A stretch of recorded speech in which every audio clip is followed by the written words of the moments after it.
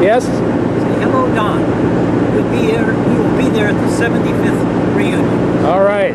Is that a promise? Yes, sir. All right, fair enough. And say revolver.